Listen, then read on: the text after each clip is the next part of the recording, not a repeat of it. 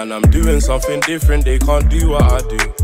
Flying through the air, how could they walk in my shoes? I could flex some balls, there's breadless toast to the days I was searching for some pennies on the road. Hi guys, welcome back to my channel. It's me Marjorie. Today I'm back with another hair review.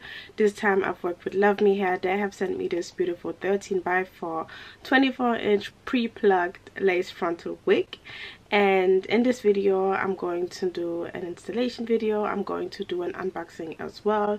You can wear this wig in glueless as well. It's beginner friendly like it's very very easy to wear. But in this video i'm going to use my Wonderlace i'm going to put all the hair details down in my description box so please take a look. And now i would say let's just start with the video